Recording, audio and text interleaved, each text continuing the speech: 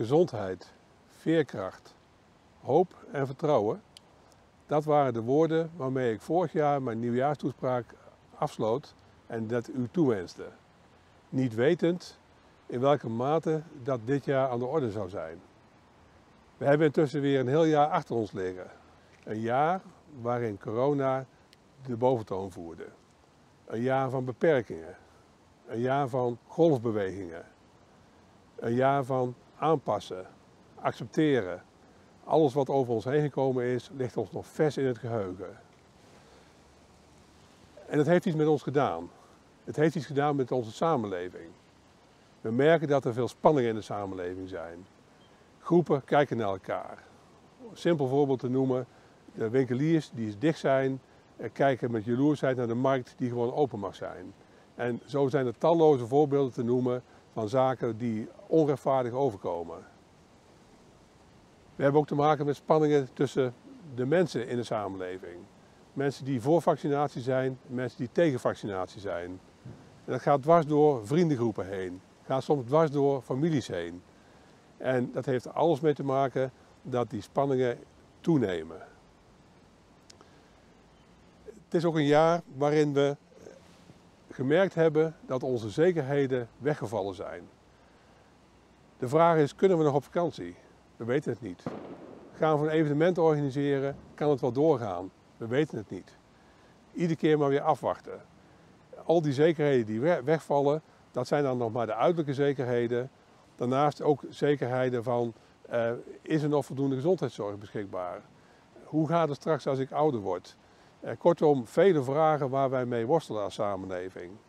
En dat doet ook iets met ons als mensen, ieder persoonlijk. Ik denk dat iedereen die hier nu naar luistert, zal beamen dat hij daarmee te maken heeft.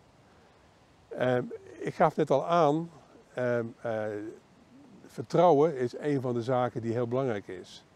En wat ik nou zo mooi vind in de nurse samenleving is dat er nog heel veel mensen zijn die uh, de zekerheden die wegvallen kunnen compenseren door hun vertrouwen op God die ze hebben. En ik hoop ook dat veel mensen daar dan steun in mogen vinden. Maar we staan ook weer aan het begin van een nieuw jaar. En dat betekent dat we weer vooruit moeten kijken. Het betekent ook dat we zullen moeten leren leven met corona. En hoe dat precies moet, dat weet nog niemand. Maar er moet wel aan gewerkt gaan worden. Op nationaal niveau, er moet bijvoorbeeld nagedacht worden over hoe gaan we om met bijvoorbeeld de ziekenhuiszorg. Moeten er misschien wel speciale ziekenhuizen voor corona ingericht worden? Nou, al dat soort gedachten beginnen nu langzamerhand wat vorm te krijgen. Wij moeten er lokaal ook over nadenken. Wat doet het met ons evenement? Wanneer kun je een evenement wat je normaal gesproken misschien wel in het voorjaar gepland hebt, eh, moet je dat de zomer halen bijvoorbeeld? Uh, als gemeente, de nieuwjaarsreceptie kan nu een aantal jaren niet doorgaan. Onze gedachte is misschien mooi in de zomer wel iets gaan organiseren voor de burgers om elkaar te ontmoeten. Kortom, we moeten uh, leren om uh, met de onzekerheden van corona toch zo goed mogelijk onze samenleving in te richten. En dan moeten we ook ieder persoonlijk. Of je nou een bedrijf hebt wat zich aan moet passen aan de nieuwe omstandigheden, of dat je een gezin hebt waarbij je na moet denken van kan ik mijn verjaardag nog wel vieren? Of kan ik het, uh, kinderen die een huwelijk willen sluiten, uh, wanneer kan ik nou het beste de bruiloft houden? Kortom, allerlei vragen die op ons afkomen en waar we komend jaar met elkaar antwoorden op moeten zoeken. En dat moeten we vooral samen doen. Zojuist zaten we bij het coronamonument en herdachten we wat corona voor ons betekend heeft. Maar het gewone leven gaat door. We staan hier bij Stationsplein. En op dit plein gaat heel veel gebeuren. Heel recent, enkele weken geleden, heeft de Raad van Nunspeet unaniem uh, het definitief ontwerp vastgesteld voor de nieuwe inrichting van het Stationsplein. Een bijzonder moment. Een enorm project wat nu in gang gezet gaat worden. En komend jaar gaan we hier al de eerste zaken zien. Zo is de bedoeling dat het gebouwtje van de VVV gesloopt gaat worden. Dat er her en der kabels en leidingen verlegd gaan worden. En uiteraard dit jaar een teken van de aanbesteding en vergunningtrajecten. En dan hopen we toch dat met een ruime jaar eh, de SPA de grond in kan om echt de tunnels te gaan bouwen. Maar dit is zomaar een voorbeeld. Als ik kijk naar Nunspeet, gebeurt er veel meer. Er zijn ruim 180 inwoners bijgekomen. waarmee we de grens van 28.000 inwoners gepasseerd zijn. Er zijn uiteindelijk meer dan 100 woningen bijgekomen. Uh, om voorbeeld te noemen, in Elspet zijn twee nieuwe scholen in gebruik genomen.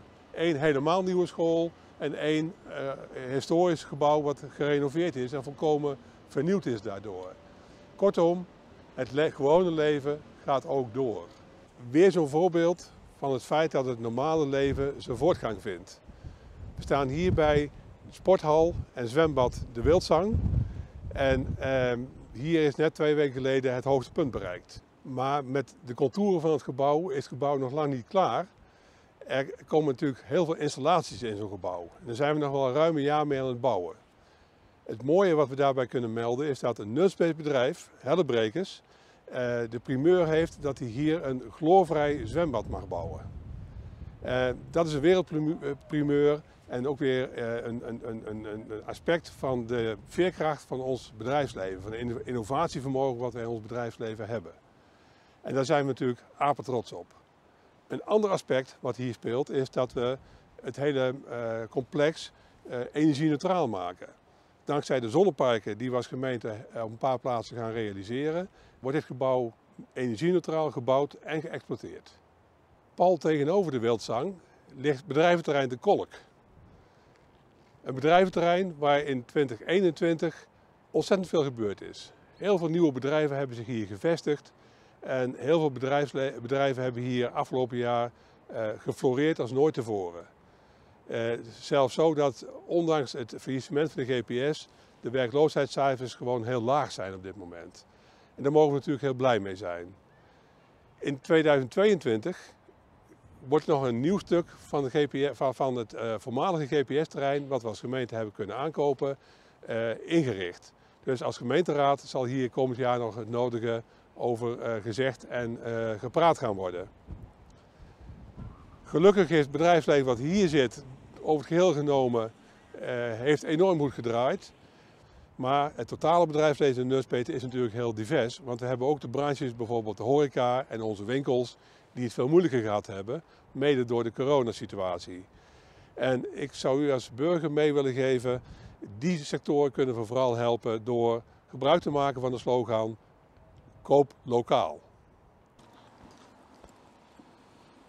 Ik sta hier op het balkon van het oude gemeentehuis.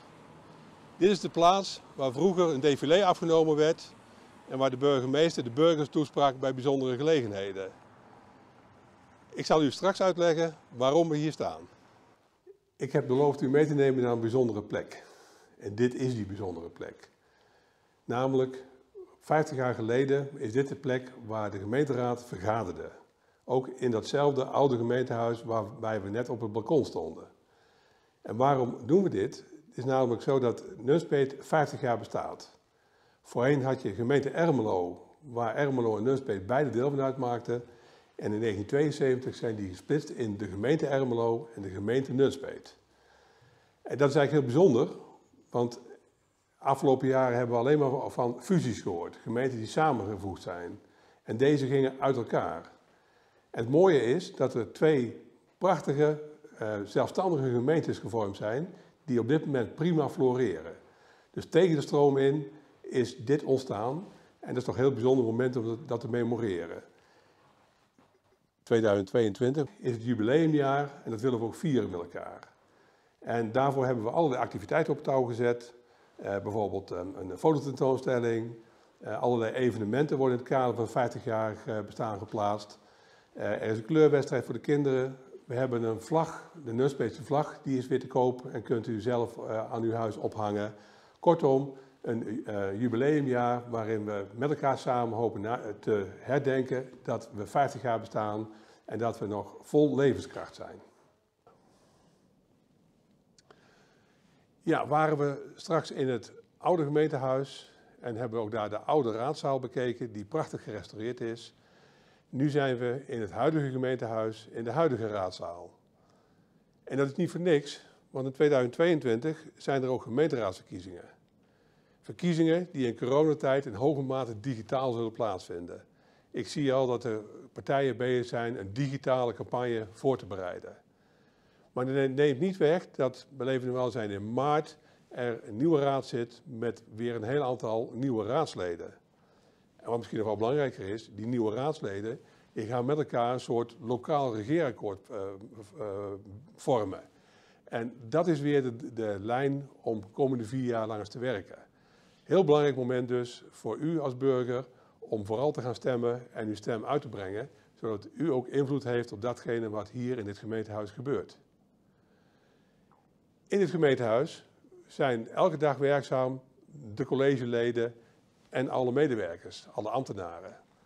En dat, dat hele complex van raad, college en de medewerkers, die zetten een prestatie van formaat neer. Afgelopen jaar meer dan 90, 95% van het werk wat we gepland hadden, ondanks alle coronabeperkingen, is toch gewoon uitgevoerd.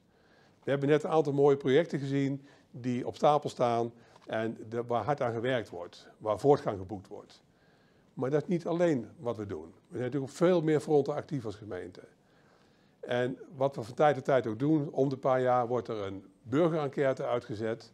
En in die burgerenquête, daarin wordt gevraagd wat vinden de burgers nou van de prestatie van de gemeente, maar hoe is het welbevinden in de gemeente, uh, hoe kijkt men tegen de openbare uh, orde en veiligheid aan, hoe is het gesteld met openbare ruimte. Kortom, een heleboel vragen over een heel breed spectrum van alles wat met de gemeente te maken heeft, komt dan voorbij. En wat nou het mooie is, de precieze cijfers heb ik nog niet, die komen in de loop van het uh, voorjaar. Maar de eerste getallen die uh, voorbij gekomen zijn, waar ik iets over gehoord heb, is dat Nunspeet bovengemiddeld scoort als het gaat om vergelijking met gemeentes van dezelfde omvang. En dat is iets waar we trots op mogen zijn met elkaar. En het is ook heel fijn om te merken dat er hier in het gemeentehuis heel hard gewerkt wordt om dat te, te bereiken. En heel hard gewerkt zal worden om het nog verder te verbeteren. Namens het gemeentebestuur wil ik u de beste wensen overbrengen voor 2022. En ik wil dat invullen met de woorden gezondheid, veerkracht, hoop en vertrouwen.